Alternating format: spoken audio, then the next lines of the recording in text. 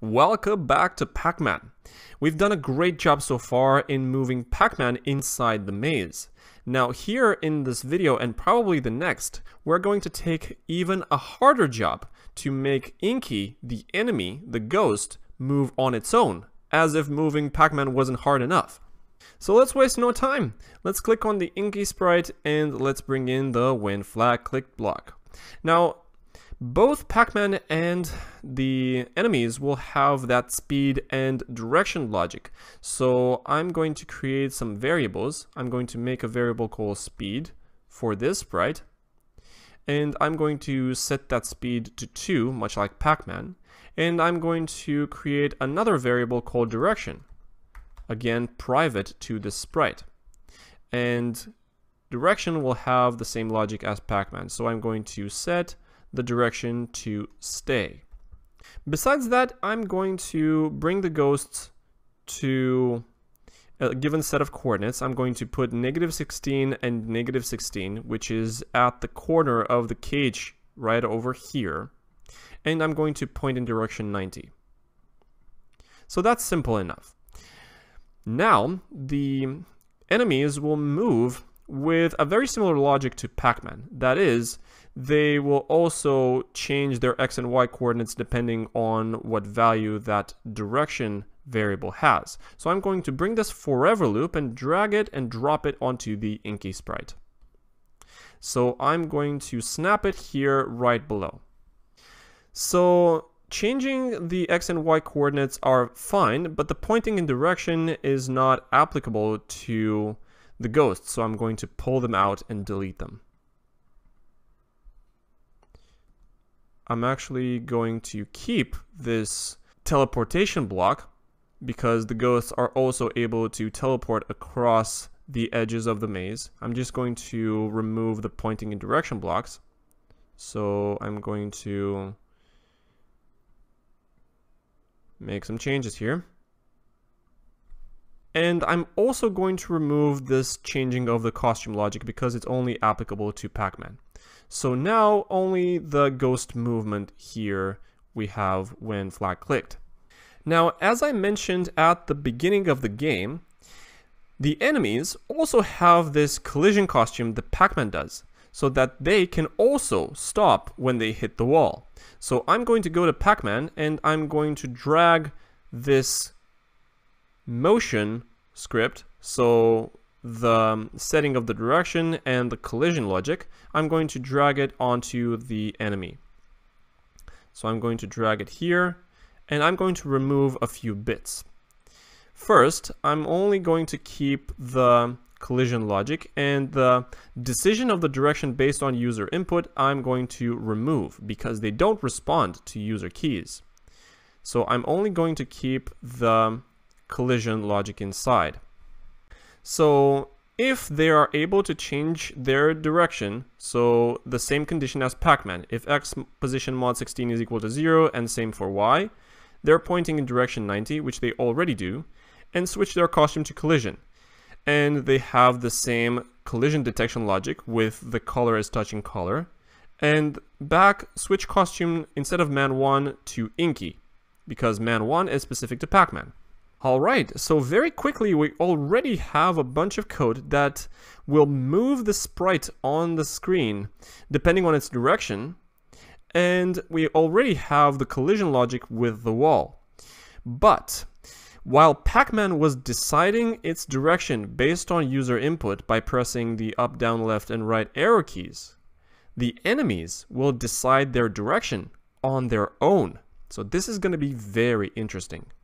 For that, I'm going to create two variables. So I'm going to make a variable that I'm going to make private to this sprite, and I'm going to name target x. And I'm going to make another one called target y. So target x and target y will be the coordinates of where the enemies are going to go.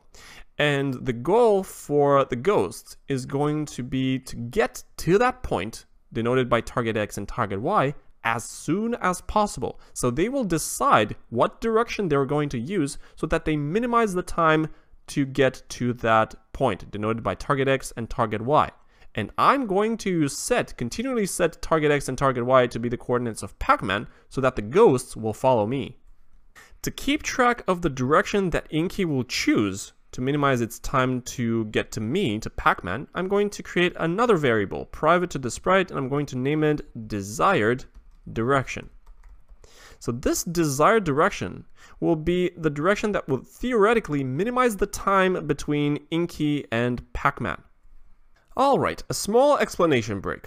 Let's assume that our very favorite Pac-Man is right over here on the screen at the coordinates target X and target Y. So this is the coordinates that our ghost will tend to go to. And our ghost is right over here at coordinates X and Y. Notice that the horizontal distance between the ghost and the target is less than the vertical distance between the ghost and the target. So in this case, we will make the ghost go horizontally first before moving down towards Pac-Man. Now we will decide to move ghost to the left because the target X is less than X. So we will make the ghost go to the left. Now let's assume another case where our Pac-Man is here at the coordinates target x and target y, and our ghost is here to the left of Pac-Man at the coordinates x and y. Now as before, the horizontal distance between the ghost and the target is less than the vertical distance between the ghost and the target. Now because the coordinate x of the ghost is less than the coordinate x of the target, we will make the ghost go to the right. And similar for the other two situations that we might get into. So say for example that Pac-Man is here at target X and target Y, and the ghost is to the up right of Pac-Man, where the horizontal distance is less than the vertical distance this time around. Now, because the target Y of Pac-Man is less than the coordinate Y of the ghost, we will make the ghost go down first. And in a very similar fashion, where our Pac-Man is upwards from the ghost. So if the horizontal distance is again less than the vertical distance, but in this case the coordinate y of the ghost is less than the coordinate y of Pac-Man, we will make the ghost decide to go up. So we will implement all of these conditions in the code. So we are back to the code, and our job right now is to make our enemy decide on its desired direction based on the four cases that we've just discussed. So here's what I'm going to do. I'm going to go to the open space and bring in this orange block to set its desired direction to stay first. And then I'm going to go to control and bring in a big if then else block. And in the diamond shaped space, I'm going to compare the horizontal distance between the ghost and the target with the vertical distance between the ghost and the target. Now, the horizontal distance between the ghost and the target can be calculated with a difference between the x position of the ghost minus the target x. So I'm going to go to motion and bring in the x position minus, and in the second space I'm going to bring in target x. So x position minus target x is the difference between the X coordinate of the ghost and the target. Now, if x position, the position of the ghost, is bigger than target x, so for example, if x position is 80 and target as x is 50, then this distance is 30 points, which is correct. But if this x position is 30 and target x is 50, the horizontal distance is 20, but the difference here is negative 20. So we will need to convert that to an actual distance number. So for that, we will use a special operator that's called abs, which stands for absolute value. And I'm going to snap this thing inside. So abs will retain the quantity, how big a number is, regardless of whether it's positive or negative. So abs of x position minus target x is the horizontal distance between Inky's x coordinate versus the target. So I'm going to compare this guy with a very similar thing with the Y position. So I'm just going to duplicate it and I'm going to snap the Y position inside and target Y. So now I'm going to compare these two. So I'm going to go to operators and I'm going to bring in a less than.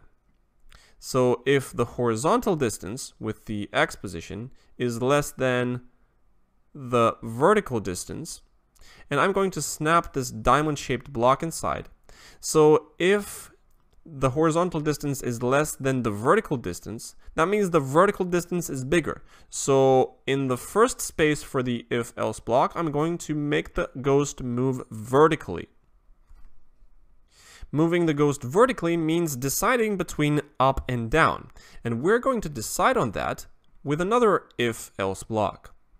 So if the ghost's vertical position is less than the target's vertical position, so something like that, so the ghost is down with regards to the target, then I'm going to make the ghost move up Otherwise, I'm going to make the ghost move down. So here I'm going to bring in a simple comparison operator, and I'm going to compare the Y position with target Y.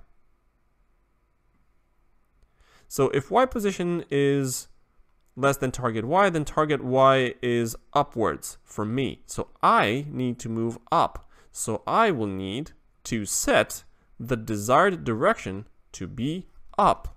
Otherwise, I'm going to set the desired direction to be down. And now in the big else space, we will decide between left and right in a very similar fashion.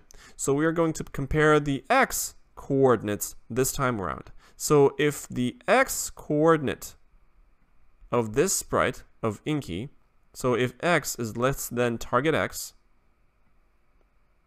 then that means my target is to the right of me. So I will need to go to the right. Otherwise, I'll go to the left. Alright, so I hope this little script makes sense. If you need to pause the video and go back a couple of minutes where we explained the decisions that we made between up, down, left, and right, then feel free to do so. And if you're still stuck or have any questions, feel free to use the course Q&A because I'm happy to help you. Now, with all this script, I'm going to snap it right before the collision logic. So right after point in direction 90. All right. So I'm going to snap it like this. All right, we're not done yet. So let's take a tiny break and let's continue in the next video.